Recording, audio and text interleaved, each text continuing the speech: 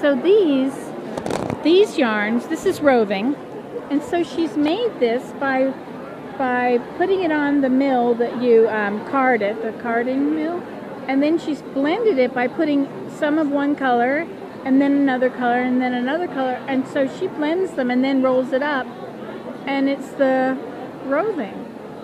And so it comes out and becomes variegated yarn. Made by loopfiberstudio.com. And it's got many different ingredients.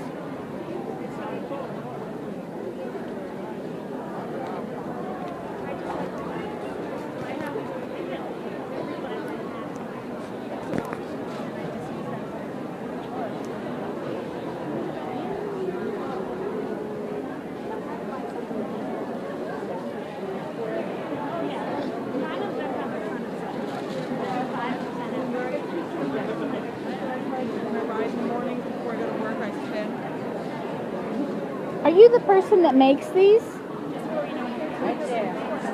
Really? Amazing what you've done. I guess you know it's amazing. That's just um, fascinating. Did you think it up? I did. I mean, the bumps, you can get bumps, but I, I think I'm the first person to do, well, they're all one of a kind. So I don't repeat anything. So I don't have colorways. Um, and I just combine colors. So that's. And then how do you get it rolled up like that? Well, it's it's a machine that does it. That's creating roving out of. It creates roving, and then it creates a bump. This is called a bump. It's like a uh, center pull ball of yarn. Okay. Yeah. Wow. Amazing.